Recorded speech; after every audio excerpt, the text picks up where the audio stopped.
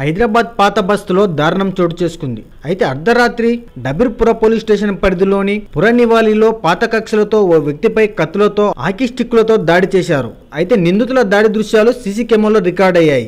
అర్ధరాత్రి దాటిన తర్వాత కూడా పాత బస్తులో యథేచ్ఛగా తెరిచి ఉంటున్న స్నిక్కర్ పార్లర్ పాత బస్తులో జరిగిన స్నిక్కర్ పాయింట్ ఘటనపై పోలీసులు స్నిక్కర్ పాయింట్లను సీజ్ చేశారు. దాడికి పాల్పడిన ముగ్గురులో ఒకరిని అరెస్టు చేశారు. పరారిలో ఉన్న మరో ఇద్దరి కోసం గాలిస్తున్న పోలీసు అధికారులు.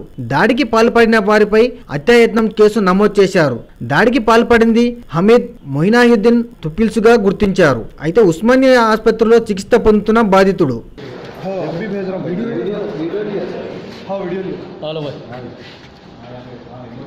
क्या हाल है भाई? ये ढकला दो लाइट हाँ हाँ चले आना जा रहे जा रहे चले आना